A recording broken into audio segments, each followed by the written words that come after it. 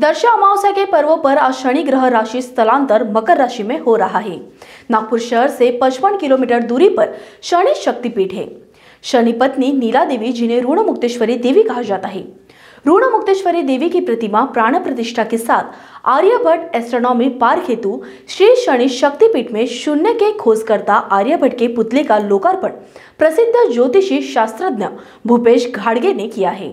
अमावस्या के पावन अवसर पर शनि महाराज मकर राशि में पधार रहे उस उपलक्ष्य में यहाँ पे शनि मंदिर में हमने शनि देवी की जो पत्नी है, धामिनी, नीला देवी ऋण मुक्तेश्वरी का पहली बार पूरे भारत में कई मंदिर नहीं है। हमने इस मूर्ति की प्रतिष्ठापना यहाँ पे की है।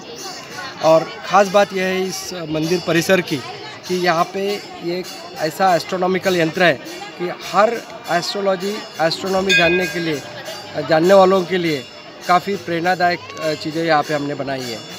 कभी आप विज़िट करते हो तो यहाँ पे दिन में जो तारे दिखाने वाली बात लोग कहते हैं ना, तारे यानी हमारे हिसाब से होते हैं नक्षत्र। नक्षत्र यानी राशियाँ। तो तारकाओं का समूह को हम नक्षत्र कहते हैं। वो दिखाने का प्रयास दिन में है हमारा।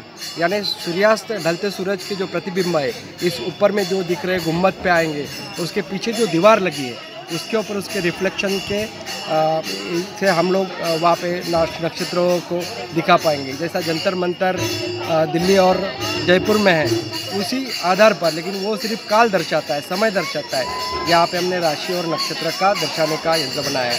तीसरा, हमने आज यहाँ पे आर्यभट्ट की मूर्ति की प्रतिष्ठापना की है। और आर्यभट्ट की मूर्तियाँ हमारे महाराष्ट्र में कहीं पे भी नहीं है। इतने प्रोमिनेंट साइंटिस्ट होने के बावजूद जो एस्ट्रोनॉमी के जनक माने, मानते हैं हम लोग 1630 में पैदा हुए गैलीलियो का ही नाम पहले, पहली बार आता है।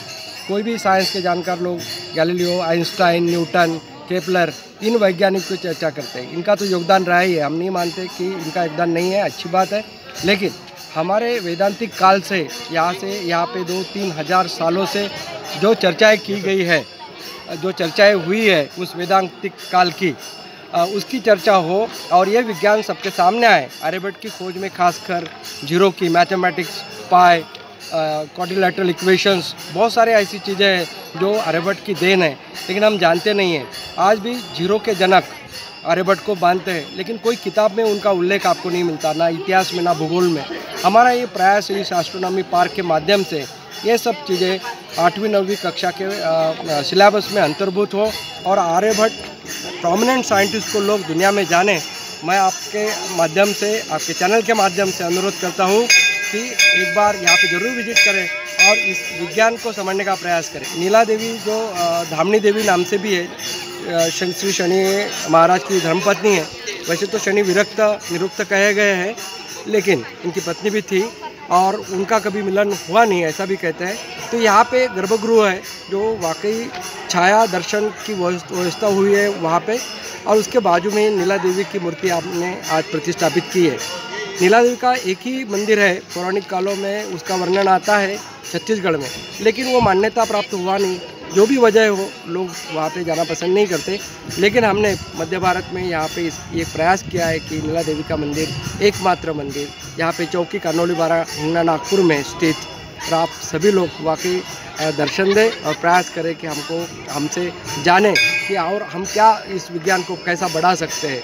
वेद विज्ञान विज्ञान पूरी तरह से साइंस होने के बावजूद भी अंधश्रद्धाओं को नज़र से देखा जाता है। सुपरस्टिशियस थिंग्स हम करते हैं। हमारा ये प्रयास है कि धर्म और विज्ञान को एक साथ जोड़े। आप सभी को बहुत बहुत धन्यवाद और आप ज़रूर बताइए